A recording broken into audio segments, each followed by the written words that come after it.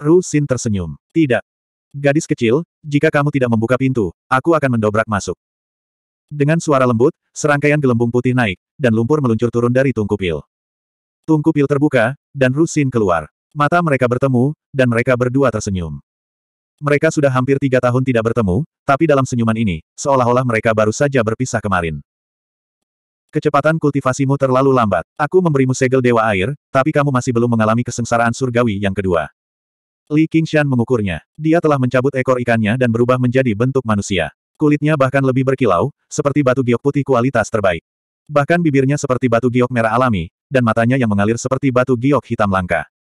Dia seperti kecantikan batu giok yang telah tercerahkan oleh makhluk abadi, hidup kembali, dan memiliki aura dunia lain.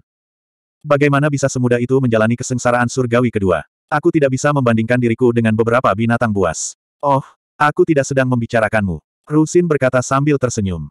Kamu tidak perlu menekankannya. Aku tahu kamu sedang membicarakan aku. Percuma saja merasa iri, cemburu, dan penuh kebencian. Inilah perbedaan antara seorang jenius dan manusia fana. Oh iya, jangan lupa, kamu juga bukan manusia.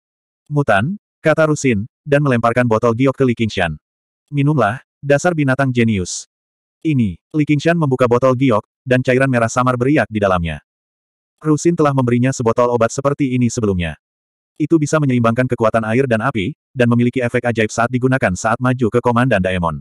Dan botol obat ini nampaknya lebih murni dan kaya dari yang sebelumnya. Obat sakit perut. Perutku sakit setelah meminumnya. Bagaimana bisa ada obat seperti itu?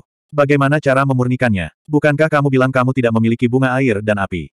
Li King San bertanya. Baginya, botol kecil obat ini lebih berharga daripada obat ajaib mana pun, namun semakin berharga, semakin dia ingin memahami asal-muasalnya. Kamu laki-laki, bukan, binatang buas. Kenapa kamu begitu pelin-pelan? Jika kamu terus berbicara omong kosong, tidak akan ada lagi omong kosong di masa depan. Bagaimana kabarmu di Nanjiang? Rusin mengubah topik pembicaraan. Dengan metodeku, aku bisa melakukan apa pun yang kuinginkan di perbatasan selatan. Saya sekarang dikenal sebagai Raja Liar. Saya telah mendirikan tempat tinggal di Savage Mountain, dan saya memiliki banyak ahli di bawah saya.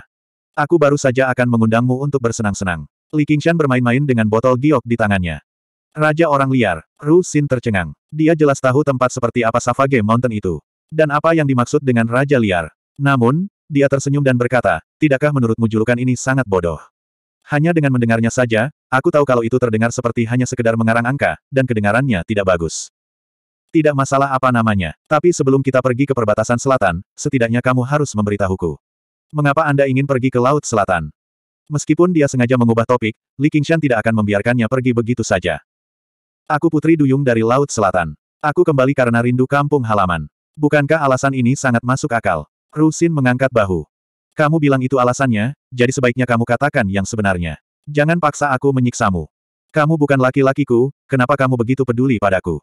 Jika kamu mau, aku juga bisa. Sudah kuduga, kamu tidak menginginkannya sama sekali. Rusin memikirkannya dengan serius.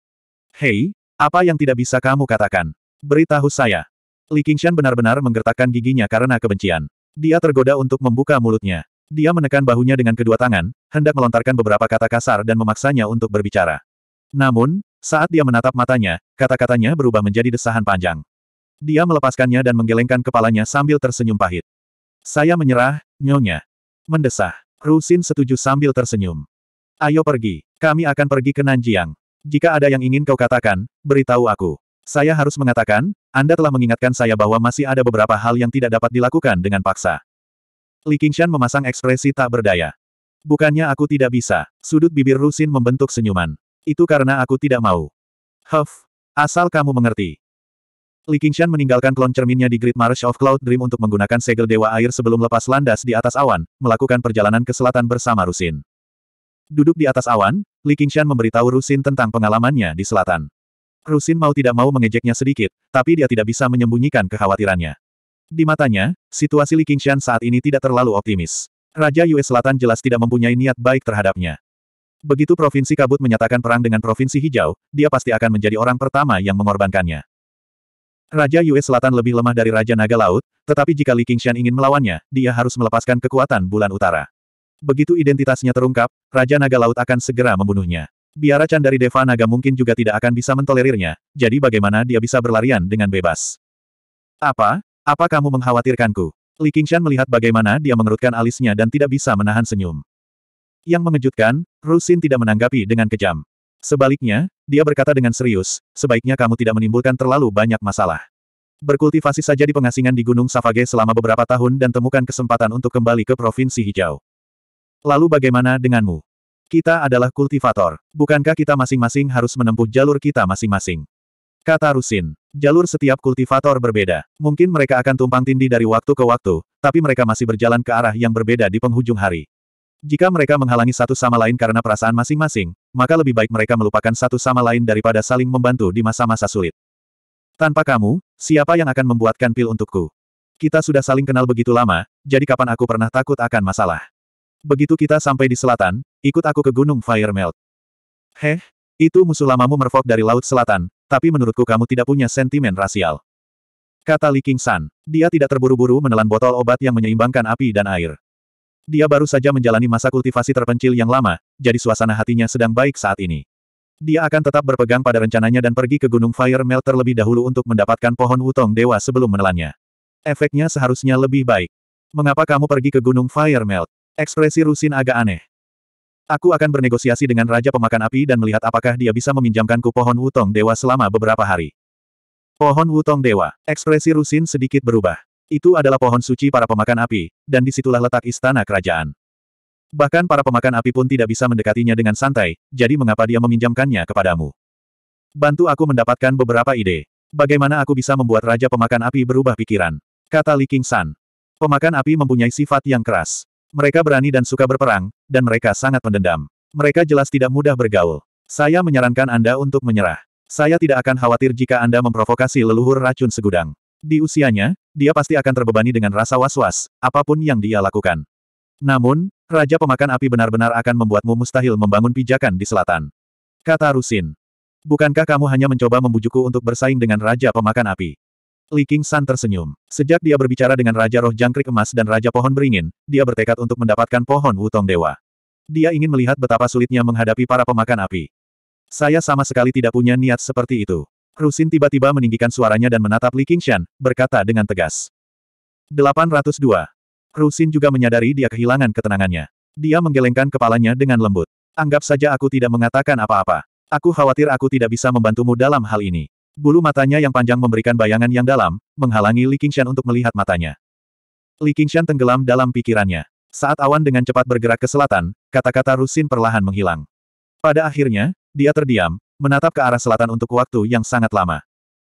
Saat matahari terbenam di barat dan bintang-bintang memenuhi langit, Li Qingshan berkata, kita telah sampai di Gunung Savage.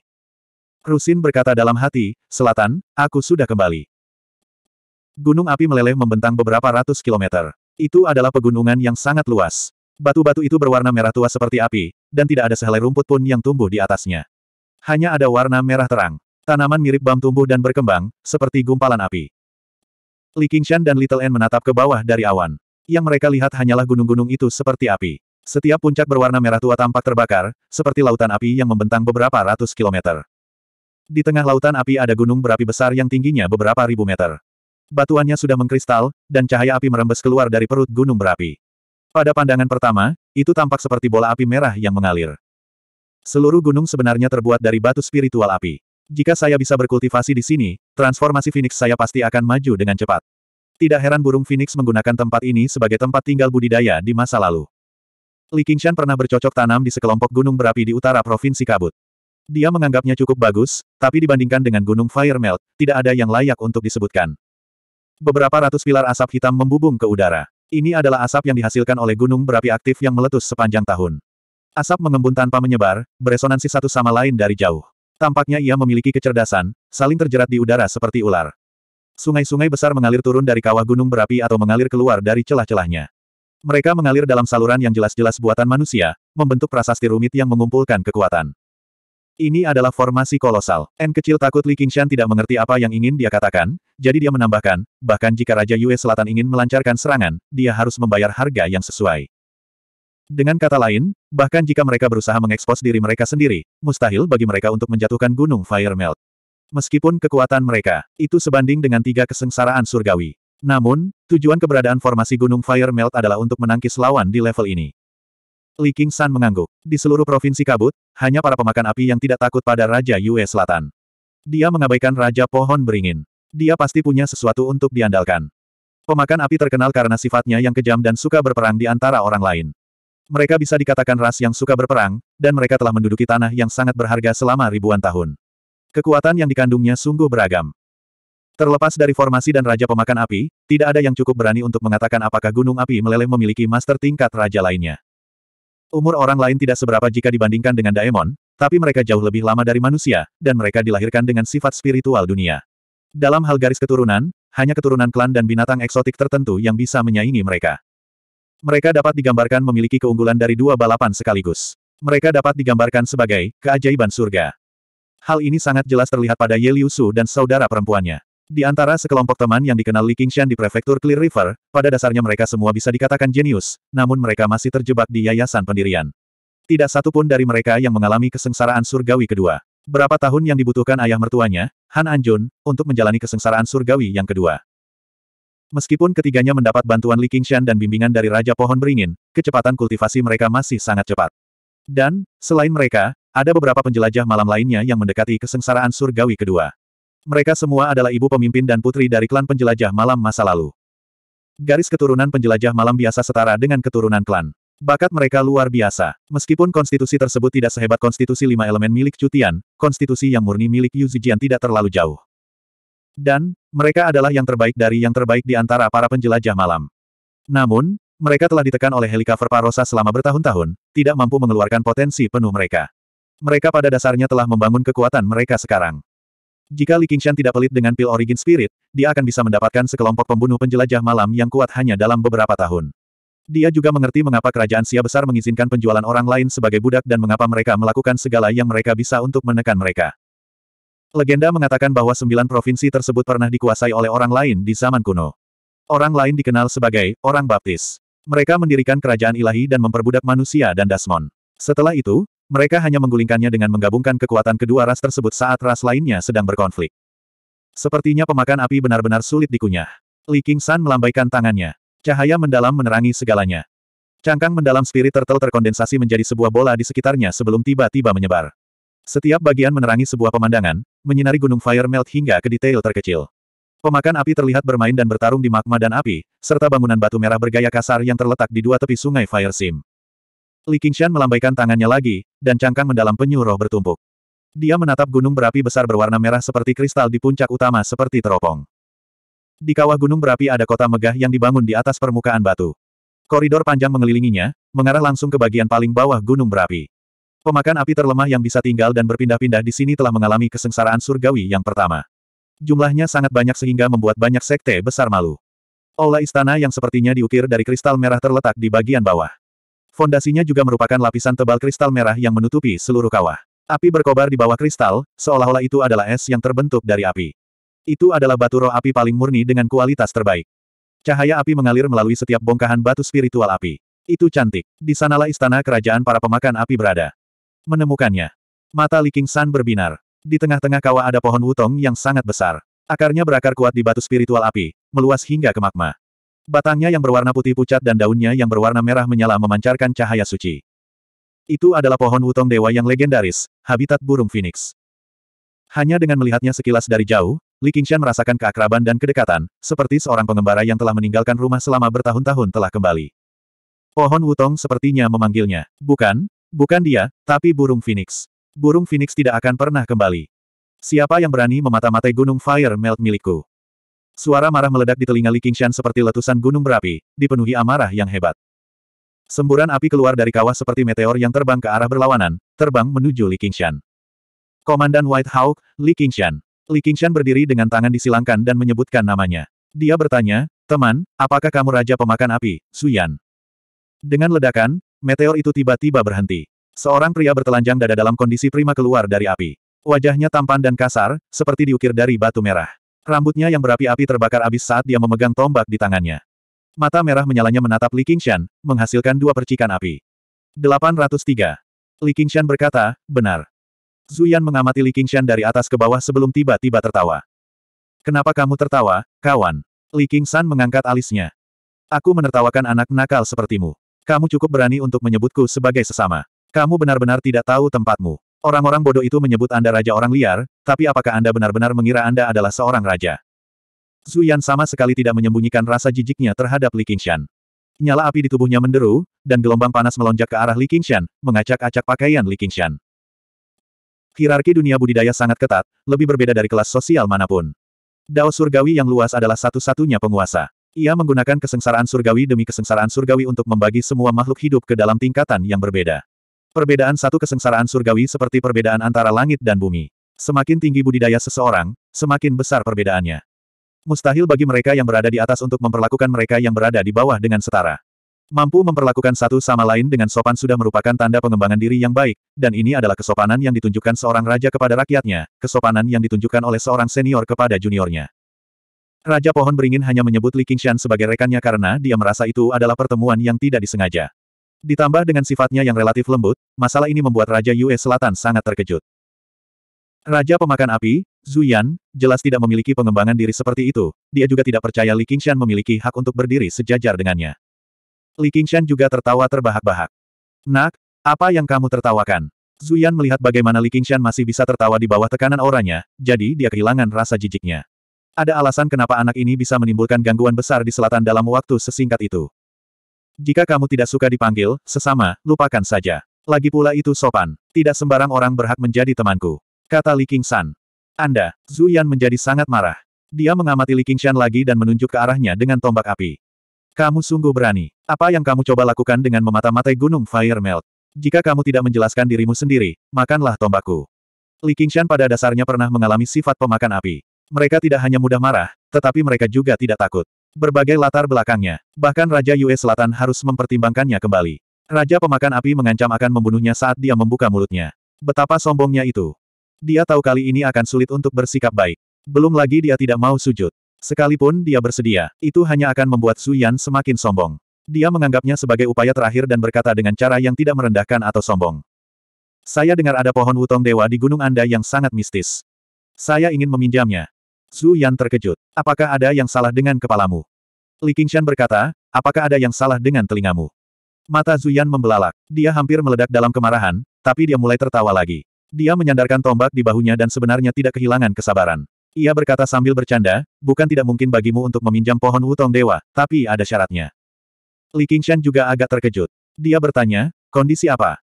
Pergilah ke Laut Selatan dan bawakan aku kepala Raja Merfok, dan aku akan meminjamkanmu pohon wutong dewa. Zhu Yan tersenyum. Li Qingshan mengerutkan kening. Ini jelas sedang mempermainkannya. Dia berkata dengan tegas, jika aku punya kekuatan, sebaiknya aku ambil saja kepalamu. Wajah Zhu Yan menajam. Karena kamu tidak punya kekuatan, maka marahlah. Aku akan mengampuni hidupmu demi kamu membuatku tertawa. Anda tidak diperbolehkan menyebut diri Anda Raja Savage di masa depan, atau jika saya mengetahuinya, saya akan membakar gunung Savage Anda. Dia tampak kasar, tapi sebenarnya dia masih merasa was-was tentang identitas Li Qingshan. Namun, Kekhawatirannya bukanlah pada biara Candevanaga atau biksu yang tidak marah, melainkan pada kerajaan Sia Besar. Di tempat yang semrawut di selatan, pada dasarnya tidak ada yang peduli dengan identitas Komandan White Hawk. Bahkan jika dia mati, penjaga Hawk Wolf tidak akan membalaskan dendamnya. Namun, ada pengecualian. Kerajaan Sia Besar sangat waspada terhadap kelompok lain, khususnya kelompok yang paling suka berperang di antara ketujuh kelompok lainnya, yaitu kelompok pemakan api. Jika seorang komandan White Hawk tewas di Gunung Firemelt, mungkin Elang Dewa akan mengalihkan pandangannya ke sini, menyebabkan konsekuensi yang tidak terduga. Meskipun kerajaan Sia besar mulai mengalami kemunduran, Zuyan tidak mau mengambil risiko ini hanya untuk membunuh orang idiot yang sudah lepas kendali. Kemarahan berkobar di dada Li Qingshan, berubah menjadi niat bertarung yang mengamuk. Mata gelapnya menatap lurus ke arah Zuyan, perlahan-lahan diwarnai merah oleh api. Zuyan mengeluarkan suara kejutan yang lembut dan memicingkan matanya. Dia justru merasa terancam. Kamu benar-benar melebih-lebihkan dirimu sendiri. Jika kamu benar-benar ingin mati, aku akan memberikan apa yang kamu inginkan. N kecil menarik lengan baju Li Qingshan dan menggelengkan kepalanya dengan lembut. Li Qingshan menarik auranya, dan ekspresinya sudah menjadi tenang. Dia menggenggam tangannya. Saya telah menyaksikan kekuatan Raja Pemakan Api hari ini, jadi perjalanan ini tidak sia-sia. Karena Anda menolak meminjamkannya kepada saya, Tuan, saya permisi dulu. Tanpa mempedulikan bagaimana tanggapan Zuyan, dia pergi dengan mengibaskan lengan bajunya. Dalam sepersekian detik, dia telah mempertimbangkan berbagai kemungkinan, seperti memikat Suyan ke lapangan Asura dan membunuhnya bersama Little N.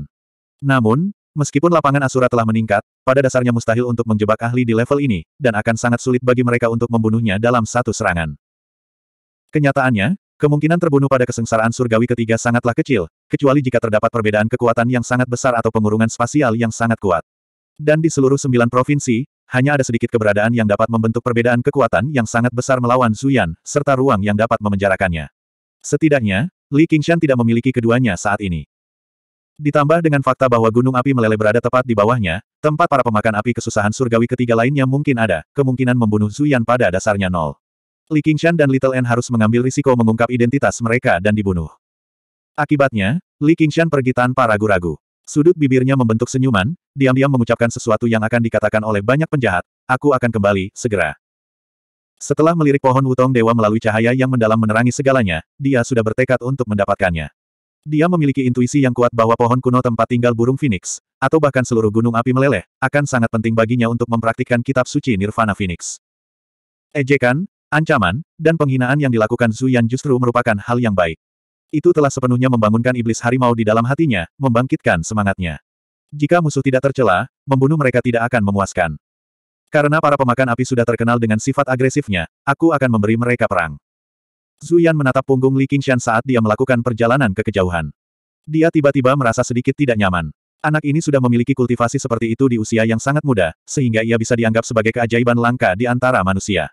Jika dia diberi waktu, dia mungkin bisa menjalani kesengsaraan surgawi ketiga. Dan, wanita di sampingnya juga sangat luar biasa. Jika suatu hari mereka benar-benar berhasil menjalani kesengsaraan, bukankah itu berarti? Semakin dia memikirkannya, dia menjadi semakin gelisah. Setelah mencapai kesengsaraan surgawi ketiga, bahkan jika dia tidak mempraktikkan ramalan, dia masih memiliki kesadaran mendalam akan takdir, yang memungkinkan para kultivator membuat pilihan yang tepat. Mata Zuyan berkobar, dan dia tiba-tiba mengencangkan cengkeramannya pada tombak di tangannya. 804. Tunggu. Perasaan bahaya tiba-tiba melonjak di hati Li Qingshan. Sebuah panggilan terdengar dari belakangnya, dan ada kilatan api di hadapannya. Zuyan menghalangi jalannya dengan tombaknya. Api berkobar di sekelilingnya saat auranya melonjak. Apalagi yang Anda inginkan, Tuan? Li Qingshan mengangkat alisnya dan melirik ke arah Little N. N kecil selalu tanpa ekspresi di depan orang lain, tetapi Li Qingshan tahu bahwa dia memahami dengan jelas apa yang sedang terjadi. Dia berpikir, gadis ini. Saya berubah pikiran. Saya bersedia meminjamkan pohon wutong dewa kepada Anda untuk ditanami. Zuyan mengarahkan tombaknya ke Gunung Fire Melt, pada dasarnya mengukir kata, niat buruk di wajahnya. Oh, apakah kamu tidak membutuhkan aku untuk menukarnya dengan kepala Raja Merfolk? Saya sudah bersiap untuk pergi ke Laut Selatan. Li Qingshan mengulurkan tangannya sambil tersenyum. Haha, hanya denganmu. Saya dapat memahami bahwa Anda tidak mampu membelinya, jadi saya akan menunjukkan belas kasihan dan meminjamkannya kepada Anda. Nak, kenapa kamu tidak cepat-cepat berterima kasih padaku sambil berlutut? Mata Zuyan dipenuhi dengan ejekan, seperti kucing yang bermain-main dengan tikus, dan seekor tikus yang sangat sombong dan tidak tahu apa yang sedang terjadi. Namun, sikap Li Qingshan yang tenang dan tak kenal takut membuatnya sedikit meningkatkan kewaspadaannya. Bagaimana aku bisa meminjamkan harta para pemakan api kepada orang luar? Aku salah bicara. Aku tidak akan pernah menyebut kata, pinjam, lagi. Li Qingshan melirik kembali ke Gunung Fire Melt. Pohon Wutong Dewa berdiri di tengah gunung api meleleh. Setelah formasi diaktifkan, bahkan Raja Daemon pun akan berjuang untuk menghindari kematian. Bahkan jika Zuyan bersedia meminjamkannya dengan tulus pada awalnya, bagaimana dia bisa menggunakannya tanpa khawatir? Belum lagi dia jelas-jelas dipenuhi permusuhan saat ini. Karena dia tidak bisa meminjamnya, maka dia akan mengambilnya dengan paksa. Harta karun dunia yang menakjubkan adalah milik yang kuat. Yang bisa dia lakukan hanyalah bertarung. Tadi kamu bilang ingin meminjamkannya padaku, tapi sekarang kamu tidak mau meminjamkannya padaku. Apa kamu mempermainkanku? Hari ini, kamu harus meminjamkannya kepadaku meskipun kamu tidak mau. Melihat Li Qingshan tidak tertipu sama sekali, wajah Zuyan berubah muram. Percikan keluar dari mulutnya dan menari-nari di sekitar Li Qingshan. Bukankah ibumu mengajarimu untuk tidak meludah saat berbicara dengan orang lain? Li Qingshan melambaikan tangannya dengan tidak sabar. Dia tertawa dan berkata, lagi pula, jika aku, orang tuamu, Ingin pergi, aku akan pergi. Bagaimana Anda bisa menghentikan saya? Li Qingshan mengeluarkan jimat ungu dengan membalikkan tangannya. Sebelum dia datang ke Gunung Fire Melt, dia awalnya berencana untuk melihat pohon wutong dewa secara langsung. Akan sangat bagus jika itu benar. Kemudian dia akan menegosiasikan kesepakatan dengan Raja Pemakan Api. Dia meminjam hak untuk menggunakan pohon wutong ilahi. Menaklukkan seluruh perbatasan selatan. Dia juga telah mengumpulkan rampasan perang dalam jumlah besar, dan jimat ungu ini adalah salah satu rampasan perangnya di perbatasan selatan. Dia tidak pernah menyangka Raja Pemakan Api akan memotongnya begitu dia membuka mulutnya sebelum melontarkan ejekannya sepenuhnya. Tidak ada ruang untuk negosiasi sama sekali, dan sekarang mereka siap mengambil tindakan. Namun, bukan berarti dia tidak siap, atau dengan kata lain, di bawah peringatan khusus Little N. Tentu saja, Meskipun jimat ungu sangat kuat dan langka, mereka tidak dapat menimbulkan ancaman apa pun bagi Zuyan. Namun, jimat ungu ini bukan untuk berperang. Jimat pergeseran hebat. Anda ingin pergi. Zuyan mengenali jimat itu dengan sekali pandang. Dengan menjentikkan jarinya, bintik-bintik bunga api tiba-tiba meletus, meluas ribuan kali lipat. Kekuatan yang mereka keluarkan cukup untuk membelah gunung dan membelah tanah. Li Qingshan berbalik dan menarik N kecil ke dalam pelukannya. Dengan suara gemuruh yang besar, nyala api yang berkobar menelan mereka sepenuhnya. Dari tanah, mereka tampak seperti bunga yang tiba-tiba mekar di langit. Tombak di tangan Zuyan berubah menjadi seberkas cahaya merah, menusuk ke arah Li Qingshan dengan kecepatan kilat. Dia sama sekali tidak memberi Li Qingshan kesempatan untuk mengaktifkan jimat ungu. Menara penindas iblis yang tinggi runtuh, menyelimuti Li Qingshan dan N kecil. Ujung tombak bertabrakan dengan menara, mengeluarkan dentang tajam. Zuyan sedikit terkejut. Meskipun dia tidak menggunakan kekuatan penuhnya dalam serangan itu, dia tidak menyangka menara penindas iblis akan sekuat itu. Dalam sekejap, ribuan percikan api menyembur dari ujung tombak, seolah-olah telah terjadi ribuan ledakan. Menara penindas iblis hanya bertahan sesaat sebelum hancur. Namun, saat apinya padam, Li Qingshan dan N kecil sudah menghilang. Huff, dan di sini aku berpikir bahwa kamu memiliki sesuatu yang bisa diandalkan untuk berbicara begitu arogan di hadapanku. Itu hanyalah jimat pergeseran hebat. Aku akan menemukanmu dan mengulitimu hidup-hidup. Zuyan mendengus dingin dan dua aliran api keluar dari lubang hidungnya. Kemudian, dia melihat sekeliling dan menutup matanya untuk merasakan. Jimat pergeseran besar tidak dapat dibandingkan dengan jimat pelarian ungu, yang memungkinkan seseorang menempuh jarak 5.000 km. Ia hanya bisa bergerak paling banyak 500 km. Ditambah dengan fakta bahwa dia memindahkan dua orang pada saat yang sama, jarak mereka tidak akan lebih dari 250 km. Mereka tidak akan bisa lepas dari kejarannya pada jarak ini. Namun, setelah beberapa saat, dia membuka matanya dan mengerutkan kening. Bagaimana mereka bisa menyembunyikan aura mereka secara menyeluruh? Seolah-olah mereka tidak ada. Tanpa ragu-ragu, dia memilih arah berdasarkan intuisinya dan berubah menjadi meteor saat dia mengejar. Namun, dia terbang kembali beberapa saat kemudian. Jelas sekali, dia belum berhasil. Zuyan ingin menyerang Savage Mountain, tapi dia menyerah setelah berpikir beberapa lama. Manusia dan daemon bisa melakukan hal seperti itu, tapi terlalu banyak pantangan bagi orang lain, jadi mereka tidak bisa bertindak sembarangan. Mereka menerima pukulan dariku, jadi mungkin mereka juga terluka parah. Budidaya mereka sangat terpengaruh. Kesengsaraan surgawi ketiga seperti jurang alami yang memisahkan orang-orang jenius yang tak terhitung jumlahnya. Bahkan jika anak ini berhasil suatu hari nanti, setidaknya itu akan memakan waktu seratus tahun. Kenapa aku harus takut padanya? Di sisi lain, kaum merfok di Laut Selatan akhir-akhir ini agak gelisah. Mereka sedang mempersiapkan ekspedisi berikutnya. Di hutan berkabut, Li Qingshan dan Xiao An berjalan berdampingan di samping sungai kecil. Mereka dikelilingi oleh pepohonan raksasa yang tampak seperti gedung pencakar langit. Daunnya seperti awan, dan akarnya seperti naga dan ular. Kabutnya setebal susu. Saat mereka bergerak maju, perlahan menghilang, mengeluarkan aura halus. Namun, jika ada manusia di sini, mereka akan menjadi tumpukan tulang dalam sekejap. Raungan setan naik dan turun, dan bayang-bayang tertinggal di kabut tebal. Li Qingshan bisa menyembunyikan auranya hingga setetes air pun tidak terlihat, seperti penyuruh di kedalaman laut. Jalan Little N tentang tulang putih dan keindahan luar biasa terkenal karena jalan kehidupan, kematian, dan ruang angkasa. Itu hanya sekumpulan tulang putih, jadi bagaimana dia bisa merasakannya? Jika para penggarap kesengsaraan surgawi kedua menerima ledakan percikan Raja Pemakan Api, mereka akan terluka parah. Namun, Li Qingshan mempraktikkan kitab suci Nirvana Phoenix, jadi toleransinya terhadap api sangat besar. Dia pada dasarnya tidak terluka. Namun, dia tidak berani meremehkan Raja Pemakan Api karena hal ini. Pemogokan itu hanya sekedar penyelidikan. Itu bahkan bukan serangan formal. Jika ini benar-benar pertarungan sampai mati, mustahil bagi burung Phoenix untuk mengabaikan api Raja Pemakan Api jika belum mencapai lapisan keempat. Belum lagi, Keterampilan dalam pertempuran dan tubuh tangguh yang ditunjukkan oleh tombak membuatnya sangat menjunjung tinggi Suyan. Tidak heran dia begitu sombong. Jika aku melawannya sendirian, aku mungkin bukan lawannya. Untungnya, kamu mengingatkanku untuk menyiapkan jimat pergeseran hebat, kalau tidak, itu akan sedikit merepotkan. Aku perlu menemukan acara untuk mengumpulkan beberapa lagi di masa depan. Sayangnya saya tidak memiliki kemampuan bawaan seperti Moyu, atau saya bisa pergi ke mana pun saya mau di dunia ini. Li Qingshan berkata pada N kecil dengan rasa kasihan. Dia bahkan telah mencoba mempelajari, bersembunyi melalui ruang, dari Asura Yin King, tetapi bahkan di alam Asura, tidak banyak orang yang mengetahui gerakan ini. Tidak hanya membutuhkan bakat untuk mengendalikan ruang, tapi juga memakan banyak waktu dan tenaga, jadi dia hanya bisa menyerah. Tidak sekarang, tapi siapa tahu, mungkin di masa depan. N kecil tersenyum. Rambutnya yang sampai ke tanah seperti rumput laut yang mengapung di air laut, terseret ke belakang.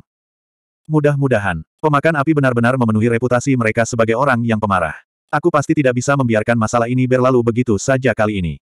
Aku ingin tahu apakah bajingan itu akan pergi ke Gunung Savage. Orang lain selalu xenofobia. Mereka khususnya membenci manusia, dan Anda juga seorang komandan White Hawk. Kerajaan Sia Besar telah mengeluarkan perintah untuk memburu para pemakan api beberapa kali di masa lalu, dan penjaga Hawkwolf lah yang menggali hati mereka untuk mendapatkan jasa.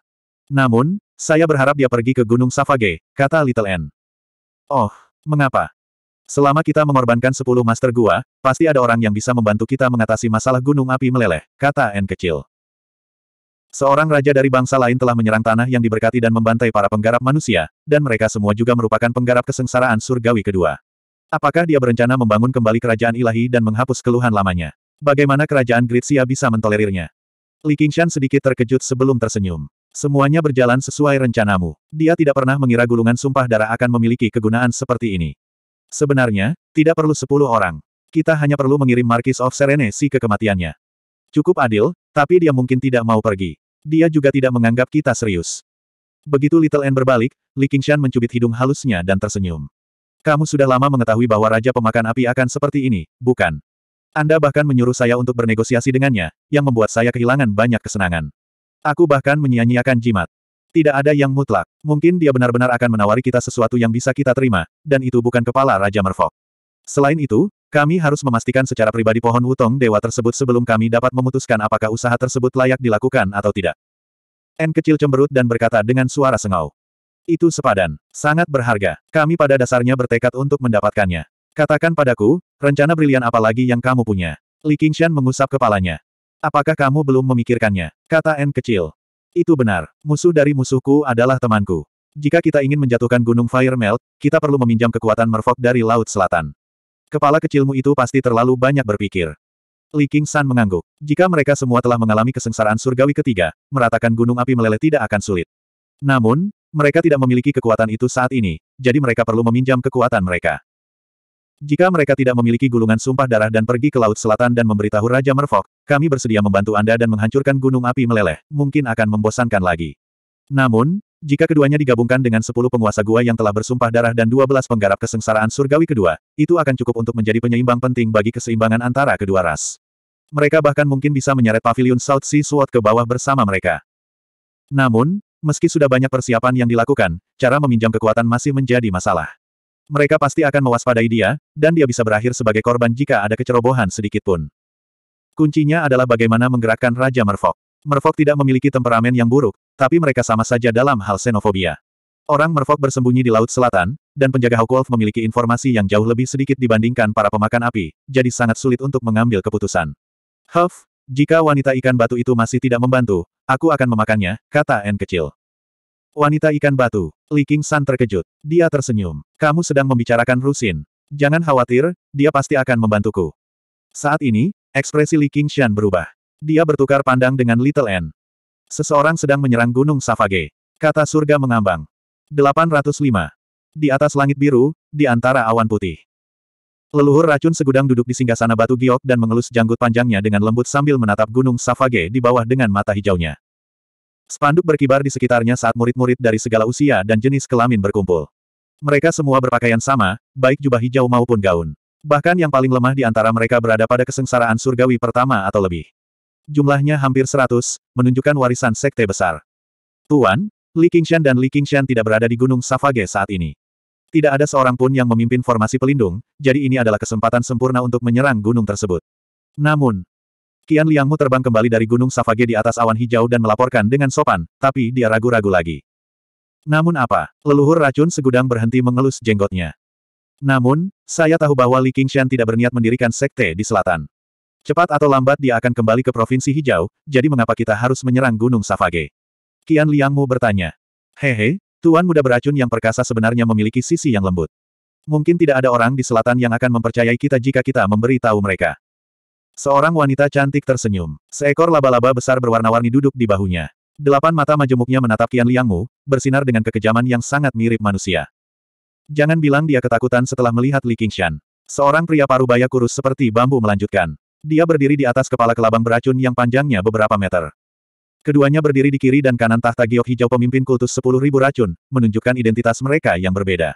Mereka adalah kakak muda dan kakak senior Qian Liangmu, orang-orang yang memenuhi syarat untuk bersaing dengan Qian Liangmu untuk posisi pemimpin kultus sepuluh ribu racun.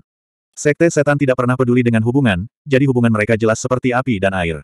Mereka tidak akan pernah membiarkan kesempatan untuk menyerang satu sama lain lewat begitu saja.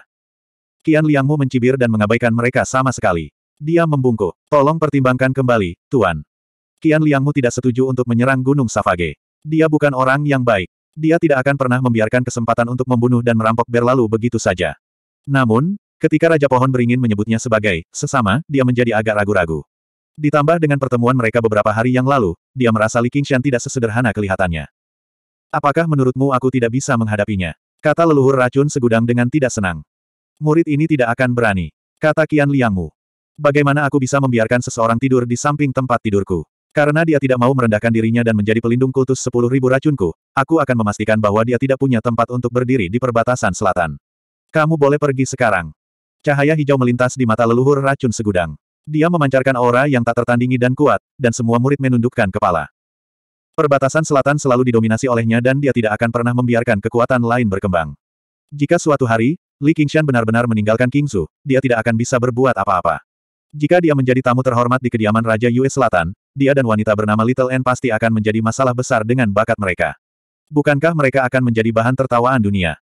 Adapun beberapa kekhawatiran Qian Liangmu, bukan karena dia tidak mempertimbangkannya. Namun, dengan perbedaan tingkat kultivasi mereka, hal itu tidak sepadan sama sekali. Raja Yue Selatan tidak mengambil tindakan. Dia hanya menerima nasihat Raja Pohon Beringin karena mempertimbangkan situasi kedua prefektur. Mungkinkah dia benar-benar takut pada Li Qingshan? Bocah ini sombong dan kasar, menolak niat baik dari kultus sepuluh ribu racun. Sialan. Dan, dia baru berada pada kesengsaraan surgawi kedua, namun dia cukup berani untuk menyebut dirinya raja orang liar atau apa pun. Guru ingin memberi pelajaran kepada raja palsu seperti dia hari ini agar dia memahami perbedaan antara dia dan raja sejati, kata wanita cantik dengan laba-laba. Adik laki-laki, jika kamu takut, jangan ragu untuk kembali ke ibu kota Mist. Saya bersedia meminjamkan kekuatan saya yang sedikit untuk membantu Tuan dalam menghancurkan Gunung Savage. Tangkap Li Qingshan hidup-hidup. Pria kelabang itu berkata dan melirik ke sekeliling. Terlepas dari beberapa tetua yang bangga dengan status mereka, semua murid biasa berseru bersamanya. Hancurkan Gunung Savage. Tangkap Li Qingshan hidup-hidup. Untuk sesaat, spanduk-spanduk bergoyang, dan teriakan perang mengguncang langit. Leluhur racun segudang membanting sandaran tangan singgasananya dan berdiri. Dengan lambaian tangan kanannya, angin dingin dan api hijau berputar dan berkumpul, mengembun menjadi bola hijau tua. Petir bersilangan dan mengalir, dan cahaya mewarnai wajah semua orang menjadi hijau. Mutiara petir dari segudang racun adalah teknik rahasia dari kultus racun segudang. Ia memiliki ketangguhan petir dan kelembutan racun, membuatnya sangat merusak. Saat itu, matahari pun tampak redup. Tatapan semua orang tertuju pada mutiara petir dari segudang racun. Cahaya hijau mengalir melalui mata leluhur racun segudang, dan dia mengulurkan satu tangan ke kedua tangannya. Mutiara petir dari segudang racun berputar dan tumbuh semakin besar, bersinar semakin terang. Dalam sekejap mata, ia mencapai ukuran tangki air dan didorong ke bawah dengan keras, langsung menghantam Gunung Savage. Gemuruh memenuhi langit dan bumi, menyebabkan bumi sedikit bergetar. Petir menyambar dan mewarnai langit menjadi hijau. Kemudian berubah menjadi awan beracun, menyelimuti area seluas beberapa ribu kilometer. Itu melonjak melalui Gunung Savage dan menghasilkan suara korosi yang menusuk telinga. Para murid dari Sekte Myriad Poison semuanya bersorak. Nenek moyang yang perkasa, kamu telah membuat Li Qingshan sangat takut hingga dia kencing di celana, terlalu takut untuk meninggalkan sekte. Aku sudah berlatih mutiara petir dari racun segudang selama bertahun-tahun, tapi aku tidak pernah mengira jurus ini benar-benar memiliki kekuatan sebesar itu. Sekarang setelah aku melihat leluhur mengambil tindakan hari ini, aku akhirnya mengerti mengapa kultus racun segudang kita bisa mendominasi. Selatan, Li Qingshan seperti seekor semut yang mencoba mengguncang pohon. Sungguh menggelikan. Gunung buas telah runtuh, jadi saya akan menjadi garda depan leluhur sekarang dan menangkap Li Qingshan.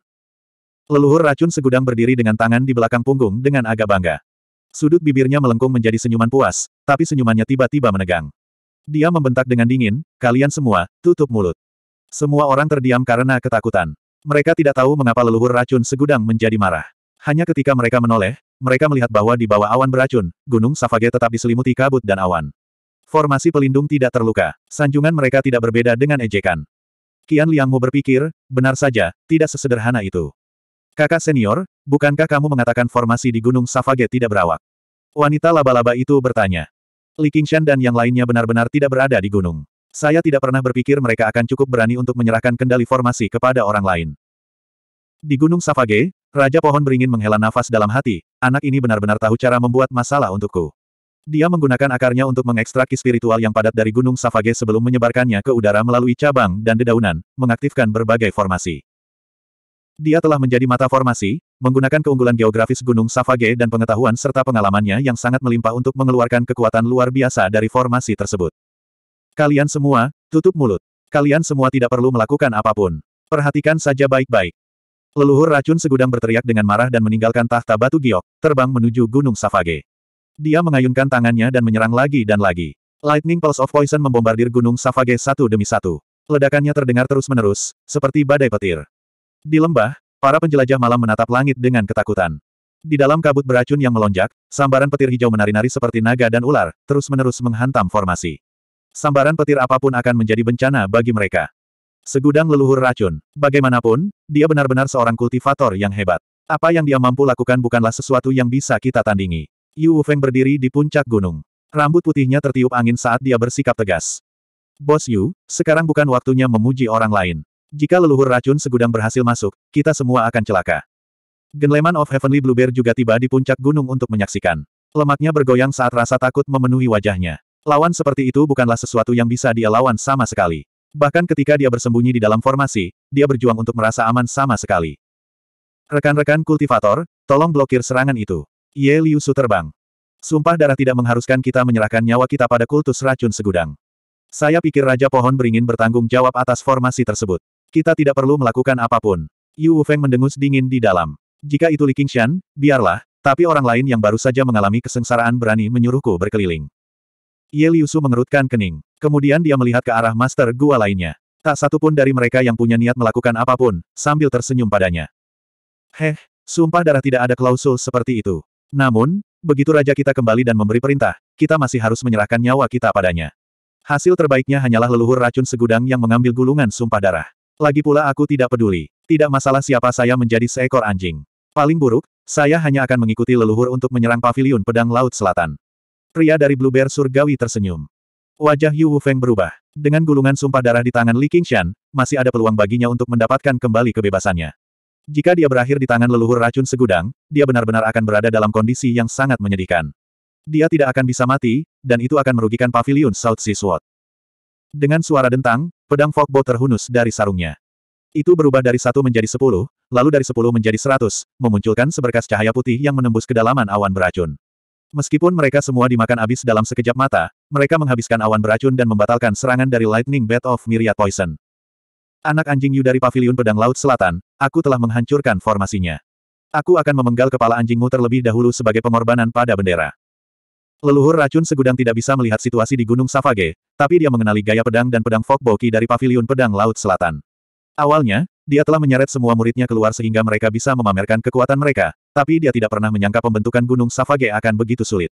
Cara pengoperasiannya sangat cerdik, tanpa celah sedikit pun. Dia tidak bisa menahan diri untuk tidak marah karena dipermalukan. Anjing tua Myriad Poison, lewati formasi ini dulu. Kata Yu Feng. Pada saat ini, Genleman of Heavenly Bluebear juga bergerak. Dia menarik napas dalam-dalam, dan angin kencang bertiup ke dalamnya. Tubuhnya yang bergunung-gunung membengkak, menjadi seperti segumpal daging yang besar. Dia membengkak hingga batasnya dan tiba-tiba membuka mulutnya, mengeluarkan seberkas cahaya merah darah yang lengket dan menyengat. Ia melesat ke udara dan benar-benar menembus awan beracun, menciptakan lubang besar. Tubuh pegunungannya menyusut saat dia terengah-engah. Yu Feng menatapnya dengan heran. Dia tidak pernah berharap dia benar-benar berusaha sekuat tenaga. Tuan dari Blue Bear Surgawi tersenyum. Karena aku tidak bisa menghindari menjadi seekor anjing, aku harus mencari keluarga yang baik. Meskipun Li Qingshan dan Little N memiliki gulungan sumpah darah, mereka tidak terlalu menindas mereka. Bahkan ketika mereka menyerang berbagai wilayah di selatan, mereka memiliki keunggulan absolut. Bukan saja tidak ada bahayanya, bahkan ada beberapa manfaatnya. Li Qingshan tidak berniat mendirikan sekte atau mendirikan semacam organisasi di selatan, tetapi Genleman of Heavenly Blue Bear tertarik. Dia secara proaktif menasihati Li Qingshan di satu sisi, dan dia juga menjalin hubungan dengan berbagai master gua di sisi lain. Dia ingin menjadikan Gunung Savage menjadi sekte sejati. Dia berada di peringkat kedua di antara sepuluh penguasa gua, sementara Yu Feng berdiri menyendiri. Dia hanya ingin kembali ke pavilion South Sea Sword. Meskipun penjelajah malam disukai dan dipercaya oleh Li Qingshan, ada penghalang alami antara mereka dan para penguasa gua. Mereka pada dasarnya tidak pernah saling mengganggu. Tidak peduli bagaimana dia memikirkannya, posisinya sebenarnya terasa seperti penjaga. Jika dia benar-benar bisa mendirikan Gunung Savage menjadi organisasinya sendiri, maka dia akan menjadi sosok dengan otoritas nyata untuk membantu Raja Savage memerintah Gunung Savage. Dan, setelah beberapa waktu berhubungan, dia menemukan bahwa Li Qingshan bukanlah seorang kultivator iblis yang tidak jujur. Karena dia mengatakan ada kemungkinan untuk menghapus sumpah darah, dia tidak bercanda. Pada saat itu, dia tidak hanya akan mendapatkan kembali kebebasannya, tetapi bahkan ada peluang baginya, sang penjaga, untuk menjadi raja liar kedua. Kemudian, dia berkata, Raja kami akan kembali, namun Anda masih belum mengambil tindakan. Apakah Anda menunggu Raja kami memberikan perintah pribadi? Akibatnya, tiga master gua lainnya yang relatif dekat dengannya mengambil tindakan. Mengapa orang-orang lainnya cukup berani untuk menjadi panutan? Mau atau tidak, yang bisa mereka lakukan hanyalah mengambil tindakan. 806. Kian Liangmu naik untuk membantu tanpa berkata apa-apa. Dengan lambaian tangannya, dia melepaskan manik petir dari segudang racun. Itu bertabrakan dengan seberkas cahaya dan saling meniadakan. Bukankah aku bilang kamu boleh menonton? Leluhur racun segudang memandang dengan mata hijaunya dan berkata dengan tidak senang. Saya telah menyaksikan guru mendemonstrasikan keterampilan tertinggi dari aliran sesat, jadi saya sangat ingin mempermalukan diri sendiri. Tolong bimbing saya, guru. Begitu kita kembali ke aliran sesat, saya bersedia menerima hukuman. Kian Liangmu berkata dengan sopan. Ujian memenuhi mata pemimpin sekte Myriad Poison. Sambil melambaikan tangannya, dia berkata, baiklah. Aku akan membiarkanmu main-main kali ini. Bahkan sebelum dia selesai berbicara, orang-orang dari Sekte Racun Segudang berseru, tolong bimbing saya, Tuan. Kami bersedia menerima hukuman. Mereka berkumpul bersama, baik menggunakan artefak atau teknik misterius, semuanya membombardir Gunung Savage. Untuk sesaat, cahaya memenuhi sekeliling. Dengan kekuatan gabungan dari seluruh sekte, tekanan pada formasi pelindung segera meningkat secara drastis. Raja Pohon Senior, bolehkah saya bertanya berapa lama lagi Anda bisa bertahan? Ye Liusu khawatir, meminta bimbingan Raja Pohon Beringin. Tidak terlalu lama. Jika tidak ada yang salah. Satu tahun atau lebih seharusnya tidak menjadi masalah. Raja Pohon beringin mengayunkan dahan-dahannya dan berkata dengan suara kuno, tetapi dengan bantuanmu sekarang, ini bisa bertahan lebih lama. Hah? Ye Liusu terkejut. Dia tidak pernah menyangka, tidak terlalu panjang, Raja Pohon beringin akan begitu panjang. Tidak mungkin bagi Sekte Myriad Poison untuk menghabiskan satu tahun atau lebih di Gunung Savage. Akan sangat mengesankan jika bisa bertahan beberapa hari. Dan, Raja Pohon Beringin jelas membuat perkiraan yang konservatif. Dengan kata lain, mustahil bagi Sekte Myriad Poison untuk menembus Gunung Savage. Ketika para penguasa gua mendengar hal itu, mereka mau tidak mau harus bekerja lebih keras lagi. Untungnya, mereka tidak menolak tawaran itu sekarang, atau mereka pasti akan dihukum begitu Li Qingshan kembali. Mereka mendesah takjub dalam hati, Raja Pohon Beringin benar-benar sesuai dengan reputasinya. Dengan dia yang memimpin formasi, mungkin hanya Raja Yue Selatan yang bisa menembus Gunung Savage bersama sekelompok orang. Kamu menebak dengan benar, itu benar-benar kultus sepuluh ribu racun. Makhluk tua beracun itu benar-benar tidak bisa mentolerirku. Li Qingshan berdiri di atas awan dan menatap Gunung Savage, yang diselimuti kabut beracun. Melihat bahwa itu bukanlah Raja Yue Selatan, dia masih menghela nafas lega. Dengan Raja Pohon Beringin yang memimpin formasi pelindung, itu pasti tidak bisa dikalahkan oleh satu pun leluhur racun segudang. Apa yang harus kita lakukan? N kecil bertanya. Kami jelas tidak akan kalah jika kami bekerja sama. Membunuh kelompok murid ini bukanlah masalah, tapi akan sangat sulit bagi kami untuk mempertahankan leluhur racun segudang di sini. Saat ini bukan waktunya bagi kami untuk secara terbuka bentrok dengannya, tapi tidak sopan jika tidak membalasnya. Ayo pergi ke markas besar Sekte Racun Segudang. Li Qingshan membawa Little N dan terbang. Leluhur racun segudang tiba-tiba merasa tidak nyaman. Dia melihat ke cakrawala, tapi yang dia lihat hanyalah awan putih. Tidak peduli bagaimana dia memikirkannya, dia tidak merasa ada sesuatu yang bisa mengancamnya, jadi dia mengambil keputusan dan melanjutkan serangannya ke Gunung Savage. Yin King, keluar. Yin King saat ini sedang berkultivasi di lapangan Asura ketika suara Li Qingshan tiba-tiba terdengar di telinganya. Dia sudah dipindahkan keluar lapangan Asura. Aku punya misi untukmu. Aku ingin tahu apakah senimu melarikan diri melalui luar angkasa bisa melewati formasi di bawah. Yin King mengikuti jari Li Qingshan dan melihat ke arah yang ditunjuk Li Qingshan. Yang dia lihat hanyalah sebuah baskom besar di bawahnya. Di dalam racun hijau pucat terdapat serangkaian bangunan megah yang menjulang dan runtuh. Semuanya diwarnai hijau tua dan mengeluarkan aura menyeramkan. Tentu, Yin King mempelajarinya sebentar dan mengangguk sebagai jawaban. Sebagai seorang Asura dari alam Asura, dia memiliki seni melarikan diri melalui ruang yang tidak dapat dipahami oleh Asura biasa. Formasi kultus Myriad Poison sangat kuat, tetapi mereka tidak dapat menghentikannya untuk menyusup ke dalamnya. Lalu bisakah kamu menghancurkan formasi dari dalam? Li Qingshan melangkah lebih jauh dan bertanya. Tidak, kata Yin King. Little N berkata, formasi biasa relatif lebih mudah dihancurkan dari dalam, namun formasi kultus Myriad Poison membatasi bagian dalam dan luar. Jika kamu mencoba menghancurkannya dengan paksa, kamu pasti akan mati karena serangan balasannya. Tidak apa-apa, selama kamu bisa masuk, itu sudah cukup, kata Li King San. Siapa targetku? Yin King bertanya. Setiap orang, Li Qingshan kemudian mengoreksi dirinya sendiri. Bukan hanya orangnya, tapi barangnya juga. Pokoknya, kamu harus menghancurkan mereka sebanyak mungkin. Semua rampasan akan menjadi milikmu. Iya pak. Yin King menerima perintah itu dan mengambil satu langkah, lalu menghilang.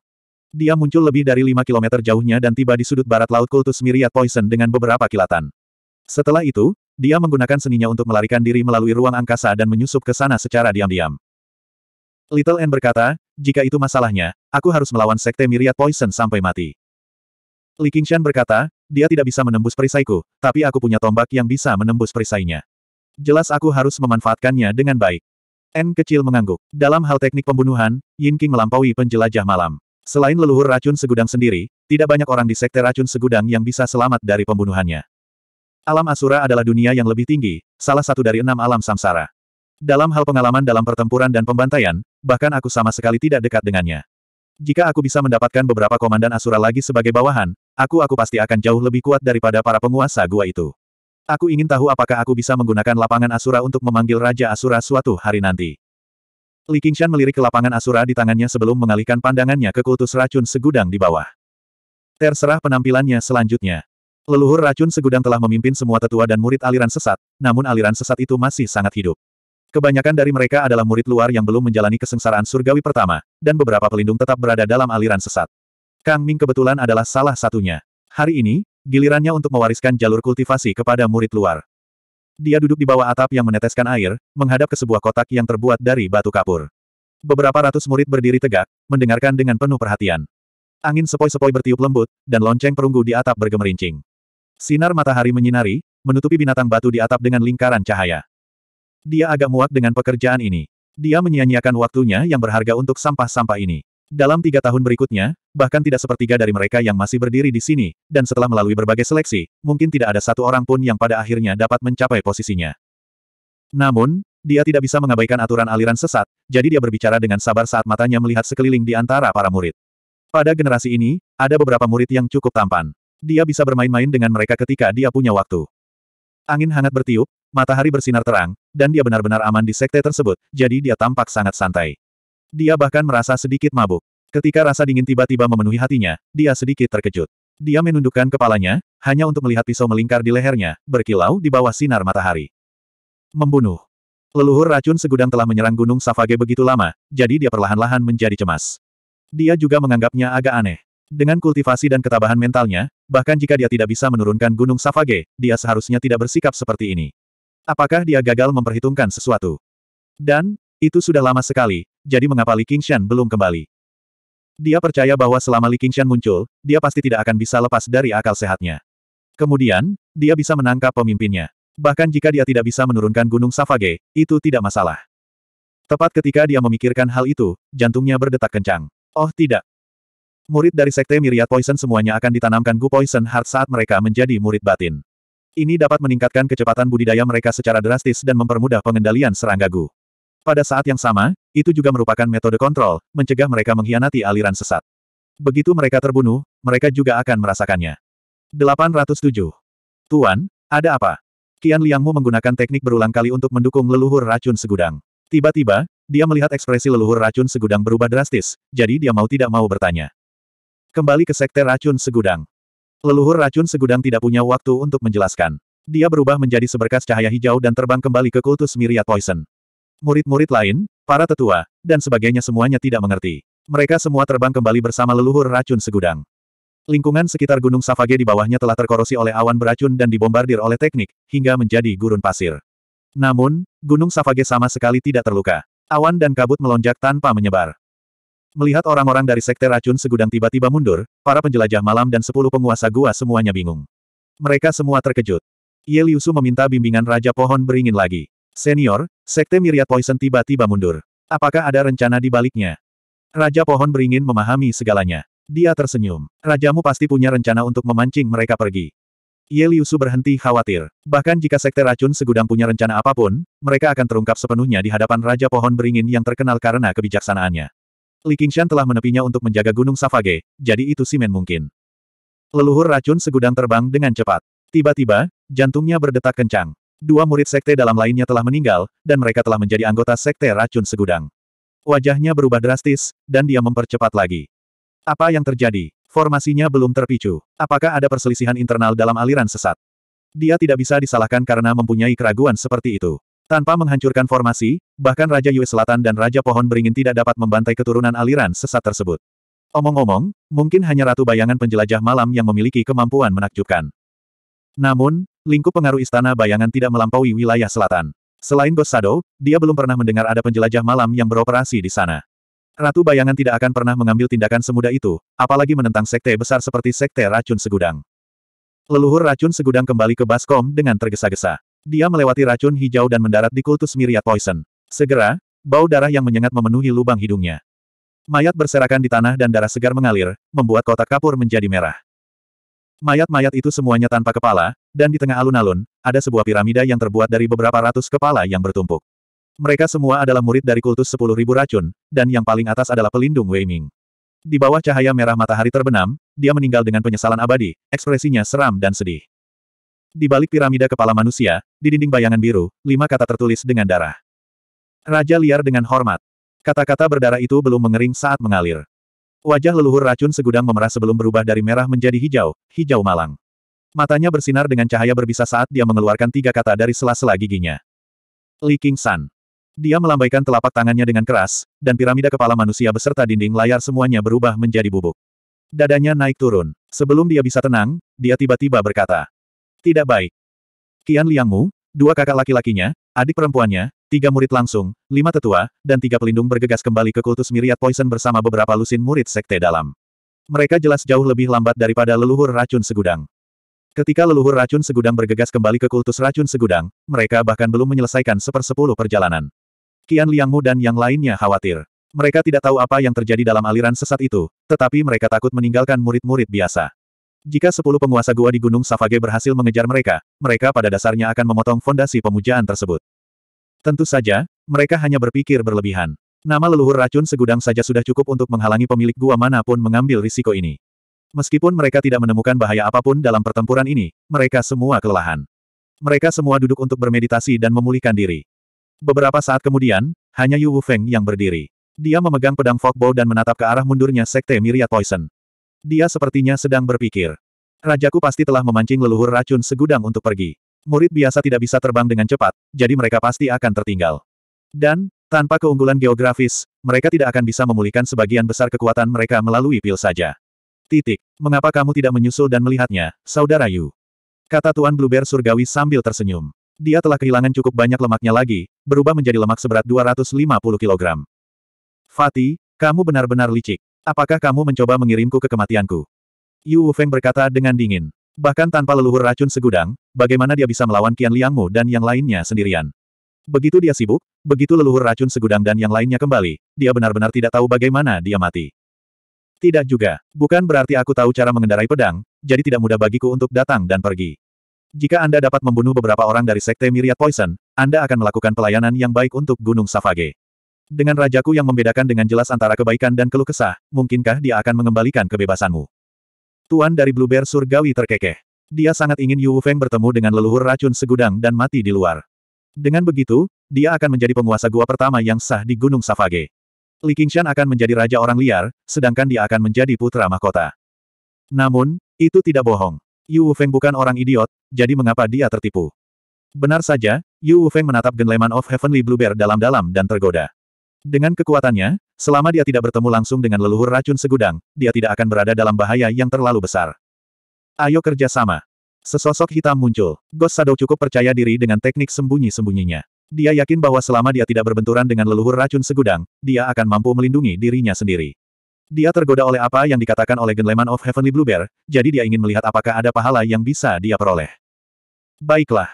Yu Wufeng mengambil keputusan. Dia menamparkan pedang Fogbow dan berdiri sambil memegang pedang itu. Dia menyatu dengan pedang dan berubah menjadi seberkas cahaya putih, terbang. Ayo pergi juga. Kata Ye Liusu sebelum bergabung ke dalam kegelapan dengan Ye Liu dan Ye Liu Bo, mengikutinya. Leluhur racun segudang mengendarai awan hijau besar bersama-sama, saat ini terbang menuju kultus racun segudang. Seberkas cahaya mengejar mereka dari belakang, tapi jarak mereka masih lebih dari 5 kilometer. Mata Yu Feng menyipit, dan dia menyatukan jari-jarinya seperti pedang, dengan lembut menyapu pedang Fogbo. Pedang Ki mengalir di sekitarnya, dan rambut putihnya melayang. Tiba-tiba, dia menikam. Seberkas cahaya putih yang sangat cemerlang melesat ke arah awan hijau. Dia hanya berharap untuk menahan orang-orang dari Sekte Myriad Poison di sini sebentar sehingga Ghost Shadow dapat menemukan kesempatan untuk menyerang. Jika dia bisa membunuh beberapa murid Sekte Racun Segudang, itu jelas yang terbaik. Garis cahaya melesat ke awan hijau. Awan hijau yang tampak sangat lembut melonjak dan benar-benar melahap serta mencerna seberkas cahaya dengan mudah. Yu Feng terhenti dan mengerutkan kening. Kultus Myriad Poison benar-benar memiliki beberapa trik. Mereka tidak berkumpul begitu saja. Sebaliknya, mereka menggabungkan kekuatan mereka, secara samar-samar membentuk semacam formasi. Bahkan Ghost Shadow mungkin tidak akan cukup berani untuk menjelajah lebih dalam dan melakukan pembunuhan. Kian Liangmu terbang keluar dari awan hijau dan tersenyum. Apakah kamu datang untuk mengantarku pergi, Tuan Guayu? Benar, aku sudah lama mendengar nama besar Tuan Muda Beracun. Kamu berdiri di samping adik laki-lakiku, Peng Jingni, sebagai pahlawan. Apakah kamu cukup berani untuk menghadapiku dalam pertempuran hari ini? Yu Feng berdiri dengan pedangnya. Dia telah menyadari bahwa leluhur racun segudang sudah lama tidak ada, jadi dia berbicara dengan tenang. Namun, dia juga mempertimbangkan apakah akan maju atau mundur ke dalam. Dia mungkin tidak bisa memanfaatkan situasi saat ini. Namun, kepergiannya hanyalah sebatas kata. Pedang Fogbo bergerak sangat cepat, jadi orang-orang ini pasti tidak bisa mengejarnya. Kian Liangmu berkata, keberanian Master Gua Yu sangat mengagumkan. Kau bahkan lebih cocok menjadi Master Pavilion berikutnya di Pavilion Pedang Laut Selatan daripada adik juniormu. Sayang sekali kau terikat oleh sumpah darah, yang mana sangat disayangkan. Adik laki-laki, apakah kamu akan berkolusi dengan musuh di depan begitu banyak murid? Jangan buang nafasmu padanya. Bunuh anak anjing ini dari Pavilion South Sea Sword. Pria kelabang itu berkata dengan tidak sabar. Kian Liangmu awalnya ingin sedikit mengejek Yu Feng, berharap dia akan menyerang dengan paksa, tapi dia tidak pernah menyangka akan diganggu oleh kakak laki-lakinya terlebih dahulu. Dia menjadi sangat marah. Kakak senior ingin aku mati bersamanya, tapi aku tidak akan membiarkanmu melakukan apa yang kamu inginkan. Yu Feng awalnya adalah kakak laki-laki pertama dari Pavilion Pedang Laut Selatan, sementara kakak laki-laki senior juga merupakan kakak laki-laki pertama dari Sekte Racun Segudang kami. Kita harus memutuskan siapa yang lebih kuat hari ini.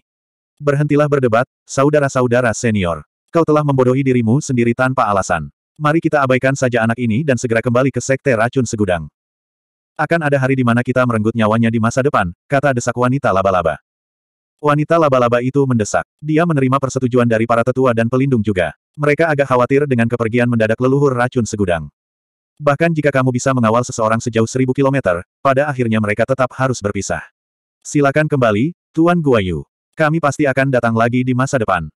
Kian Liangmu menggenggam tangannya. Dia secara pribadi percaya bahwa sebagai anggota klan kerajaan, dia tidak akan sevulgar orang barbar selatan ini. Dia akan selalu menunjukkan sikap seorang pangeran, apa pun yang terjadi. Yu Feng tidak berkata apa-apa. Kali ini, hanya sepuluh penguasa gua yang mampu melawannya. Tepat ketika dia hendak mundur dengan tegas, suara aneh tiba-tiba terdengar di telinganya. Suaranya seperti tangisan naga, cukup untuk membuat hantu dan dewa pingsan, bergema menembus awan. Itu juga seperti nyanyian Buddha, benar dan benar, membebaskan semua kehidupan dari penderitaan. Saat mendengarnya, bahkan jiwanya bergetar. Yu Feng segera mematikan indera pendengarannya, namun sia-sia. Suaranya semakin keras, tak terbatas dan ada di mana-mana. Sejak kapan selatan memiliki kemampuan seperti itu? Yu Feng menatap ke kejauhan. Cahaya merah di barat tampak menyala. Suara itu terbang dari lapisan cahaya. Setitik cahaya kemasan melintas, seperti bintang terang yang terbit di langit malam, semakin terang, semakin dekat. Itu dia. Siapa ini? Wanita laba-laba itu berteriak tanpa sadar. Jika dikatakan bahwa Yu Feng hanya merasakan keterkejutan, maka anggota kultus racun segudang merasakan tekanan yang sebenarnya. Awan hijau yang mereka kendalikan beriak, samar-samar menunjukkan tanda-tanda kehancuran. Ia tidak lagi sesantai saat ia menelan pedang Yu Feng. N kecil diselimuti cahaya cemerlang, tapi ia tidak mampu menyembunyikan cahaya kemasannya yang menyilaukan. Jubah biksunya yang berwarna putih kebiruan beriak saat dia terbang menuju awan hijau. Dia membuka mulutnya sedikit dan melepaskan teknik rahasia biara Chan Devanaga yang bahkan Raja Roh Jangkrik Emas harus menemukan cara untuk mempelajarinya secara diam-diam, nyanyian Devanaga. Sepasang mata spektralnya tidak terpengaruh, melihat segala bentuk dan ruang, memahami misteri Dharma Buddha.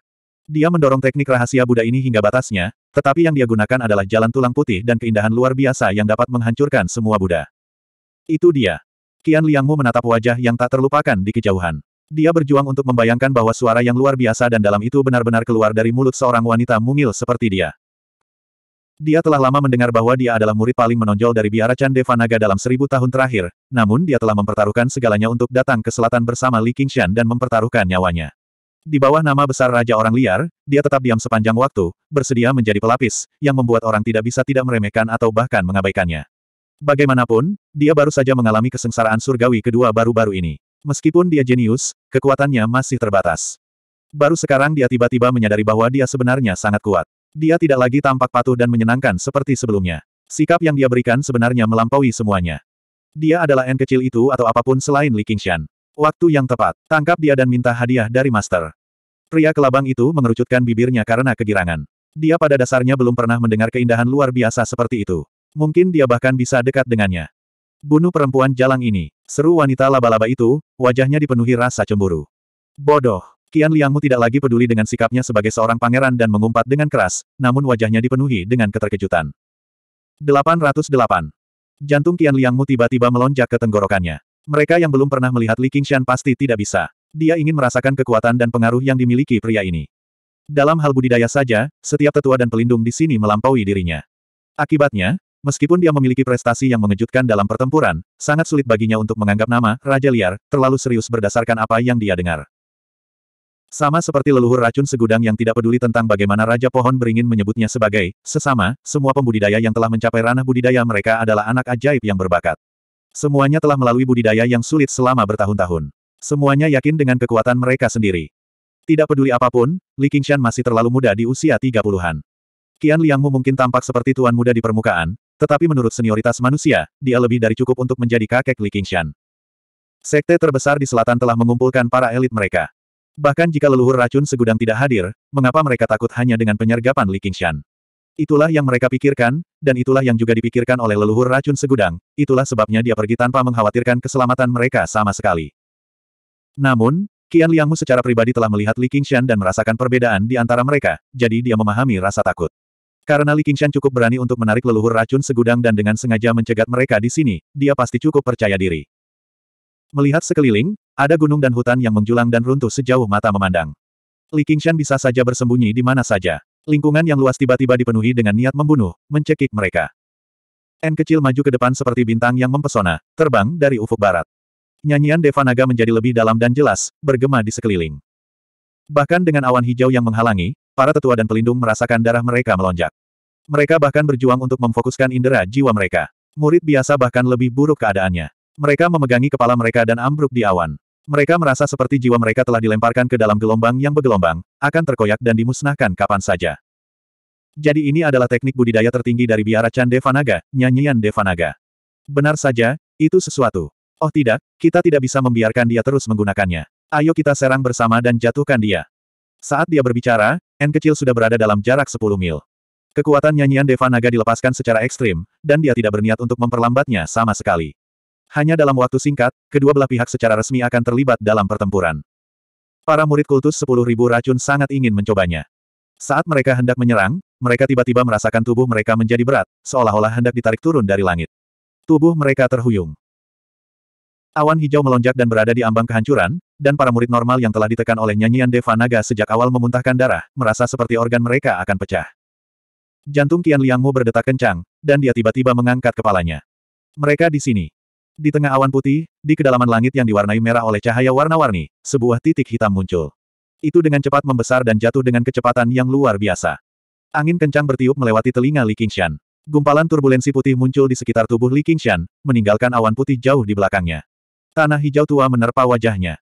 Dia membentangkan sayap anginnya hingga batasnya, dan nyala api burung Phoenix berkobar. Angin dan api menyatu, menyeret ke belakangnya seperti ekor komet yang panjang dan bersinar. Setelah menjalani nirvana burung Phoenix dan terlahir kembali dalam api, dia melepaskan bentuk ini lagi, tetapi bentuk ini jauh lebih cepat dan lebih kuat dari sebelumnya. Dalam sekejap mata, Sekte sepuluh ribu racun telah tiba di hadapannya. Dia bisa dengan jelas melihat keterkejutan di wajah mereka. Sudut bibir Li Qingshan membentuk senyuman. Dia membuka jari-jari tangan kanannya dan menekuk lengan kanannya ke belakang. Pernahkah kamu mendengar gaya telapak tangan yang turun dari langit? Sejak Qian Liangmu melihat Li Qingshan, perasaan bahaya yang dia rasakan karena mengalami situasi hidup atau mati yang tak terhitung jumlahnya pada dasarnya meraung. Dia mengeluarkan jimat pergeseran hebat yang telah dia simpan sejak lama tanpa mempedulikannya dan mengaktifkannya. Namun, senior dan juniornya, serta para tetua dan pelindungnya, jelas tidak percaya bahwa hal itu diperlukan. Kedua senior dan juniornya bahkan mengejek kepengecutannya di dalam hati, memikirkan bagaimana mereka harus melaporkannya ke leluhur racun segudang. Seorang tetua berseri-seri dengan gembira. Dia menunjuk ke langit dan berteriak, dia adalah raja orang liar, Li Qingshan. Cepat jatuhkan dia, kami benar-benar telah mencarinya jauh-jauh, hanya untuk menemukannya tepat di depan mata kami. Ada jalan di surga, namun Anda menolak untuk mengambilnya, namun Anda menerobos masuk neraka. Dengan serius. Li Qingshan membanting dengan telapak tangannya, tiba-tiba berubah menjadi telapak tangan yang sangat besar. Bayangan besar yang dilemparkannya menyelimuti seluruh kultus racun segudang, runtuh seperti gunung. Bang! Awan hijau pecah, dan terjadi banyak ledakan teredam di dalamnya. Awan kabut berdarah muncul. Turunnya Li Qingshan melambat. Dia membentangkan sayapnya dan melipatnya, mendarat dengan lembut di tanah. Dia membubarkan armor iblisnya, dan mata merahnya berubah menjadi hitam pekat. Tangan kanannya juga kembali normal. Dia mengayunkannya dan menghembuskannya dengan lembut. Jurus ini sangat kuat, tapi pastinya memakan cukup banyak energi dan Daemon Ki. Untungnya, kendaliku atas kekuatanku menjadi jauh lebih halus setelah Nirvana Phoenix. Dulu, saya harus menghantam tanah sebelum bisa berhenti. Yu Feng melebarkan matanya dan membuka mulutnya, tidak dapat sadar kembali untuk beberapa saat. Setelah berkultivasi selama bertahun-tahun, dia secara pribadi percaya bahwa dia berpengetahuan luas. Dia telah melihat segala macam hal aneh, tapi dia tidak pernah terkejut seperti hari ini. Sejak Little N muncul, dia telah siap memberikan dukungan. Lagi pula, dia memiliki gulungan sumpah darah. Ketika Li Qingshan turun dari atas, dia mengayunkan pedang Fogbow, siap menampilkan pertunjukan yang bagus. Namun, Bahkan sebelum dia bisa melepaskan teknik pedang, Li Qingshan sudah terbang dengan desir. Entah berapa kali lebih cepat dibandingkan saat dia mengayunkan pedangnya. Dan kemudian, dan kemudian, kultus Myriad Poison telah hilang. Dua murid langsung, tiga pelindung, lima tetua, serta puluhan murid pelataran dalam, semuanya telah lenyap dari dunia. Jika bukan karena bau samar darah yang terbawa angin, dia akan curiga bahwa kultus sepuluh ribu racun telah menggunakan semacam teknik teleportasi massal yang ajaib. Meskipun dia telah menyaksikannya dengan matanya sendiri, dia masih kesulitan untuk mempercayainya. Para elit inti dari Sekte Myriad Poison semuanya telah ditampar sampai mati oleh satu serangan telapak tangan seperti ini. Ghost Shadow mau tidak mau muncul dari persembunyiannya. Ekspresinya tidak berbeda dengan Yu Feng. Kekuatan lembu dan harimau, kecepatan burung phoenix, ditambah dengan getaran iblis kerbau, gravitasi bumi, dan sayap angin membentuk kekuatan yang menakutkan. Jangankan sekelompok kultivator kesengsaraan surgawi kedua atau pertama, bahkan leluhur racun segudang pun akan terluka parah jika dia berhasil selamat dari serangan itu. Tentu saja, pada dasarnya mustahil baginya untuk melancarkan serangan seperti ini dalam pertarungan dengan level yang sama. Bahkan dengan penekanan kekuatan, Li Qingshan ingin membuat N kecil menjadi umpan musuh terlebih dahulu, membuat mereka tetap di tempatnya dan mengalihkan perhatian mereka. Dia membuat penyuruh menghitung untuk waktu yang sangat lama sebelum menyerang dengan berani, melancarkan serangan telapak tangan seperti ini. Dan, Akibat dari serangannya tidak lagi sesederhana menjadi daging cincang. Semua tulang dan daging mereka akan hancur total, menjadi kabut berdarah. Secara kebetulan, saat Li Qingshan mendarat di tanah, N kecil terbang mendekat. Dia mengayunkan spanduk laut darah dan menyedot kabut dan jiwa berdarah ke dalamnya. 809. Di langit malam, beberapa bintang telah membuka mata mereka tanpa suara, menatap dengan dingin. Dunia. Secercah cahaya hijau melintas dan tiba-tiba berhenti. Ekspresi leluhur racun segudang berubah drastis, dipenuhi rasa tidak percaya. Dia bergumam, tidak mungkin, tidak mungkin. Siapa itu? Dia menolak untuk percaya bahwa Li Qingshan memiliki kemampuan untuk melakukannya. Penilaian yang salah inilah yang membuatnya harus membayar mahal. Dia mengertakkan gigi, dan lapisan hijau muncul di wajahnya. Dia mempercepat dan terbang tanpa mempedulikan biaya budidayanya. Ketika dia sudah dekat dengan tempat orang-orang dari Sekte Racun Segudang meninggal, dia tiba-tiba mendengar panggilan dari bawah. Menguasai. Aku di sini. Siapa itu? Siapa yang melakukannya? Leluhur racun segudang tiba di samping Qian Liangmu dalam sekejap dan meraih bahunya, bertanya dengan kejam. Ah itu Li Qingshan. Hanya dia. Dan N kecil itu menggunakan nyanyian Deva Naga untuk mencegat kami. Saya merasakan ada sesuatu yang tidak beres, jadi saya menggunakan jimat pergeseran hebat. Saya jangan bilang. Qian Liangmu telah melarikan diri, tapi sekarang, dia masih ragu apakah dia telah melakukan kesalahan. Dia khawatir tentang bagaimana dia harus menjelaskan berbagai hal kepada leluhur racun segudang jika Li Qingshan tidak berbahaya seperti yang dikatakan nalurinya. Baru sekarang dia akhirnya memastikan bahwa dia benar ketika dia melihat ekspresi leluhur racun segudang, dan situasinya tampak lebih parah dari yang dia bayangkan. Ada begitu banyak orang, apakah tidak ada satupun dari mereka yang lolos? Huff, kamu benar-benar tahu cara berlari. Leluhur racun segudang memelototi Kian Liangmu. Saya pantas mati. Tolong hukum saya, Tuan. Kata Kian Liangmu. Terserah. Sungguh mengesankan bahwa kamu berhasil melarikan diri. Setelah saya naik, Anda akan menjadi pemimpin berikutnya dari Sekte Myriad Poison. Jangan mengecewakanku. Leluhur racun segudang melambaikan tangannya dan perlahan-lahan menjadi tenang. Dia menatap ke arah Gunung Savage dengan wajah cekung. Tuan, apa yang harus kita lakukan sekarang? Kian Liangmu tidak tahu apakah dia harus tertawa atau menangis sekarang setelah dia mendapatkan apa yang dia impikan. Dia bertanya dengan hati-hati. Li Qingshan dan yang lainnya mungkin sudah melarikan diri kembali ke Gunung Savage.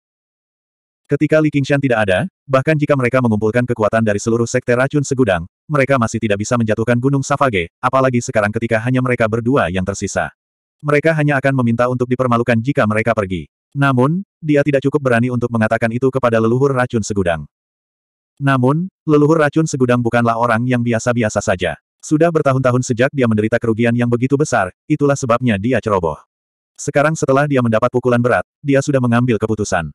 Kamu kembali ke Myriad Poison Cult untuk mempertahankan benteng. Aku ingin pergi ke suatu tempat. Saya tidak akan beristirahat sampai saya menghancurkan tulang-tulang Li Qingshan dan menyebarkan abunya. Aneh, leluhur racun segudang sebenarnya belum menyerang. Terlalu terburu-buru untuk kembali. Li Qingshan berdiri di puncak menara tinggi di puncak utama Gunung Savage. Dia melindungi matanya dengan tangannya dan menatap ke langit. Yang dia lihat hanyalah matahari terbenam. Langit gelap seperti tinta, dan cahaya bulan seperti air. Bagaimanapun juga, dia adalah Master Sekte. Dia tidak akan sebodoh itu. N kecil duduk di tepi menara. Bintang-bintang terpantul di matanya saat rambut panjangnya tertiup angin malam. Heh, Cukup adil. Sayang sekali. Aku berencana untuk mengutuknya lagi. Li Qingshan membuang muka dan berkata dengan rasa kasihan. Dia tidak akan menelan amarahnya begitu saja. Kita masih perlu mengambil tindakan pencegahan, kata Little N. Selama Raja Yue Selatan tidak melancarkan serangan skala penuh, siapa yang bisa melewati formasi Raja Pohon kita? Li Qingshan tersenyum. Di lembah, Raja Pohon beringin menghela nafas tak berdaya. Aku harus mengkhawatirkan anak ini lagi. Sepengetahuanku, masih ada beberapa. Kata N kecil, mudah-mudahan, itu bukan lawan yang merepotkan, atau bukan tidak mungkin fondasi Gunung Savage hancur dalam sehari. Li Qingshan berkata, dunia ini luas, dan jumlah orang yang berkuasa sama banyaknya dengan jumlah awan. Namun, kita tidak akan bergantung pada belas kasihan orang lain lagi. Kita harus membayar mereka sepuluh kali lipat. Di lapangan Asura. Apa hubunganmu dengan pria Li itu? Kami telah bekerja sangat keras, namun kaulah yang paling diuntungkan. Yin King menghela nafas secara emosional. Dia menatap Jenderal Daemon Botak dengan kekuatan rata-rata dan kecerdasan rendah. Dia adalah Raja Kaki Seribu. Teman. Kaki Seribu menyukai teman. Kaki Seribu mengusap kepalanya dan tersenyum bodoh. Setiap manik-manik hijau tua di tangannya dipadatkan dengan energi spiritual yang kuat. Ini adalah rampasan utama pertempuran, sepuluh inti emas dari tetua pelindung sekte racun segudang. Karena kedekatannya dengan racun, mereka tidak berguna bagi Li Qingshan, jadi dia melemparkan semuanya ke kaki seribu. Sepuluh inti beracun itu cukup bagi Milipet untuk menghemat waktu seribu tahun. Statusnya sebagai Komandan Daemon telah ditetapkan, dan peluangnya untuk menjadi Raja Daemon telah meningkat secara drastis. Yin King dipenuhi dengan kekaguman atas perlakuan ini. Dia semakin mengagumi Li Qingshan sekarang. Jika dia kembali ke alam Asura suatu hari nanti, mengikuti Raja Asura seperti ini sepertinya bukan pilihan yang buruk. Namun, saat ini, dia harus menikmati liburan langka ini dengan baik. Yin King duduk bersila dan mengeluarkan teko teh yang sangat indah dari tumpukan ratusan kantong harta karun. Dia mengambil segenggam daun teh dan menyeduhnya dengan air spiritual. Dia mengisi cangkirnya, dan asap hijau mengepul saat aroma aneh melayang di udara. Kaki seribu tidak lagi melihat inti beracun itu. Sebaliknya, dia menatap lurus ke cangkir teh sambil meneteskan air liur. Yin King meletakkan cangkir tehnya. Huh, kamu menjijikkan sekali. Apa pun, hapus air liurmu. Aku akan mentraktirmu minum. Yang mulia, para penguasa gua sedang menunggu kedatangan Anda di Balai Raja Liar. Mereka mengundang Anda untuk memberi mereka instruksi. Yu Feng tiba di puncak utama dan menangkupkan tangannya ke arah Li Qingshan di puncak menara. Sikapnya menjadi sangat hormat. Meskipun dia pernah kalah dari Li Qingshan di masa lalu dan terpaksa bersumpah darah, dia selalu enggan menerimanya. Dia hanya merasa Li Qingshan tidak membuatnya tertinggal dengan kekuatannya sendiri. Namun, setelah pertempuran hari ini, pikirannya menjadi sangat terguncang. Pavilion South Sea Sword dan Sekte Myriad Poison telah berselisih selama bertahun-tahun. Mereka selalu memperlakukan satu sama lain sebagai musuh bebuyutan. Pertempuran berdarah panas dan pengorbanan tragis yang tak terhitung jumlahnya telah terjadi antara selatan dan laut selatan. Ternyata, itu semua karena satu serangan telapak tangan darinya. Biarpun aku menjalani kesengsaraan surgawi ketiga, aku bukanlah lawannya. Namun yang paling menakutkan adalah dia baru berusia tiga puluhan. Dia tidak hanya terkejut dengan kekuatan besar Li Qingshan, tetapi dia juga merasa pandangan dunianya telah hancur dan wawasannya diperluas. Li Qingshan melompat turun. Ayo pergi. Aula Raja Savage adalah aula yang dibangun oleh Genleman of Heavenly Blue Bear di Gunung Savage. Itu terbuat dari satu juta ton basal hitam, terletak dengan anggun di punggung gunung. Itu belum dipahat, tapi mengeluarkan aura primitif dan buas. Tampaknya jauh di bawah langit malam. Di tengah aula ada singgasana batu berwarna hitam. Di bawahnya ada sepuluh kursi yang sedikit lebih kecil di kiri dan kanan. Sembilan penguasa gua telah mengambil tempat duduk mereka. Selain Ghost Shadow yang tetap diam, para master gua lainnya berdiskusi dan berkomunikasi satu sama lain. The Genleman of Heavenly Blue Bear adalah yang paling aktif. Saat ini, sosok tinggi muncul di pintu masuk aula. Li Qingshan melangkah masuk. Para penguasa gua berdiri pada saat yang sama, membungkuk dan menggenggam tangan mereka. Salam, Rajaku. Suara mereka yang bersatu bergema di aula kosong, dipenuhi rasa takut dan rasa hormat yang sama. Li Qingshan berjalan melewati mereka dan tiba di hadapan tahta hitam, memeriksanya.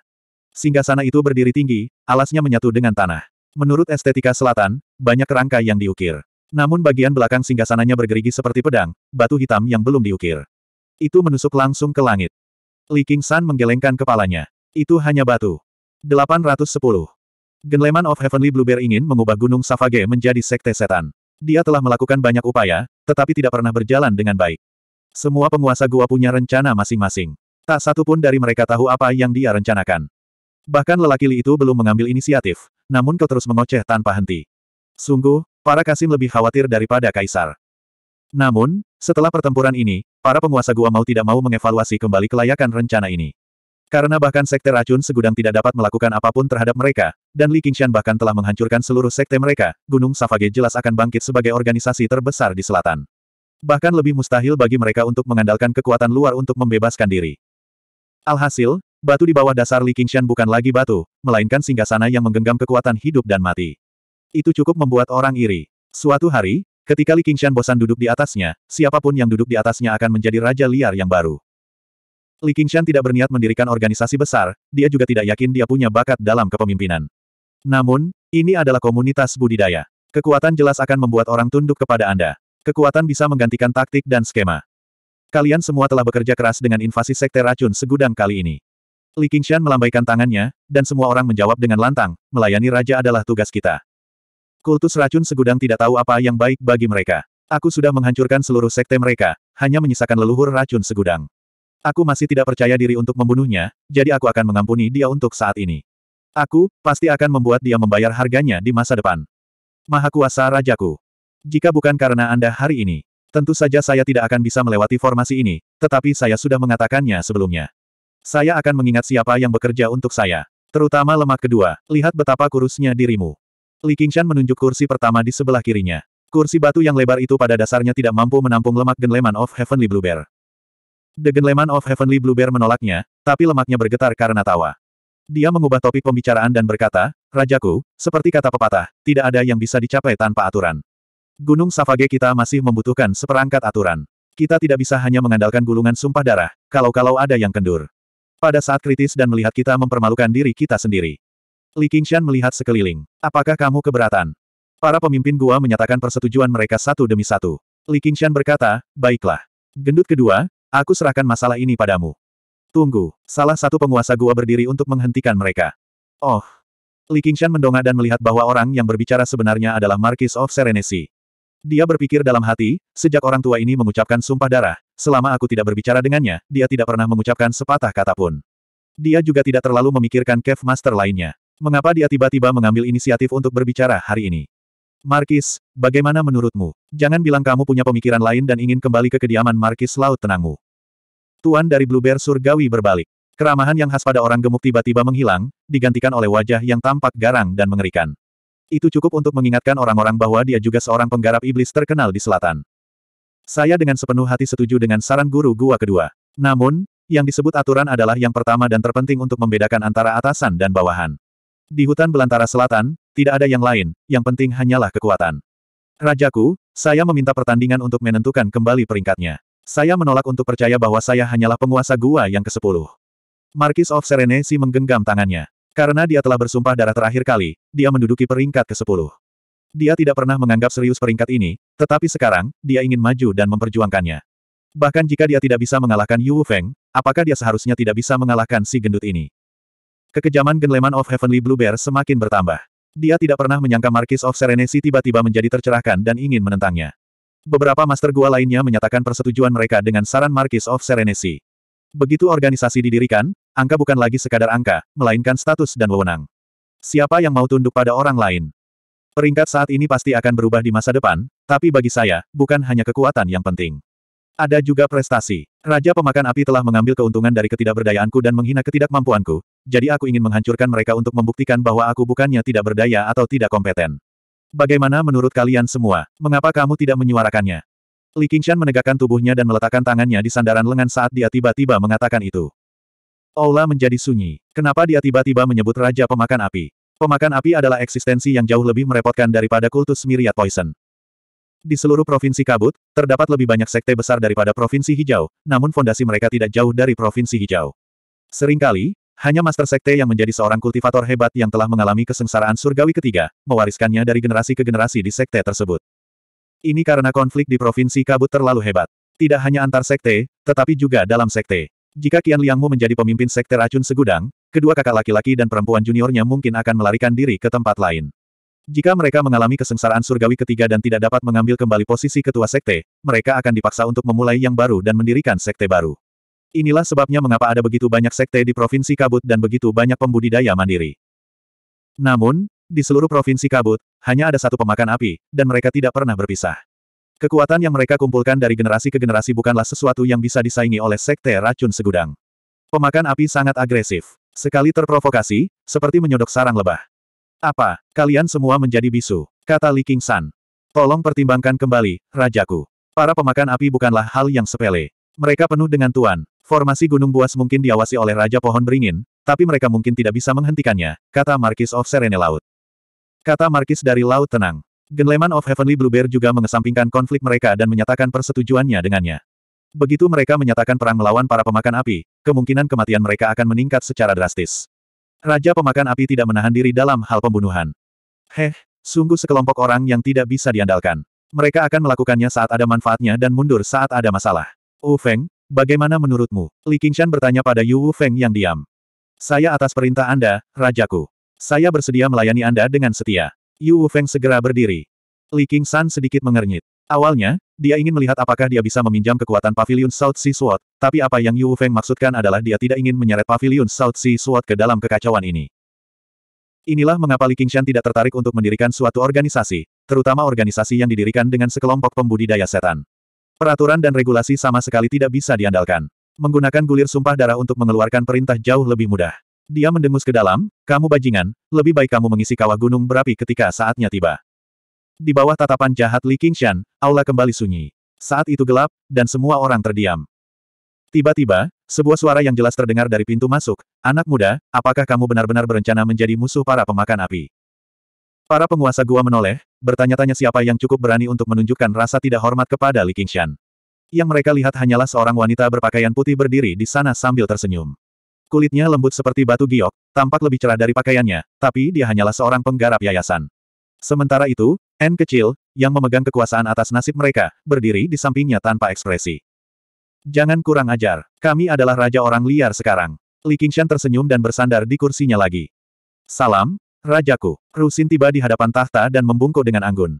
Dia sepertinya sedang dalam suasana hati yang sangat baik. Apa? Kamu masih mencoba membujukku untuk tidak bermusuhan dengan para pemakan api. Kata Li Qingshan.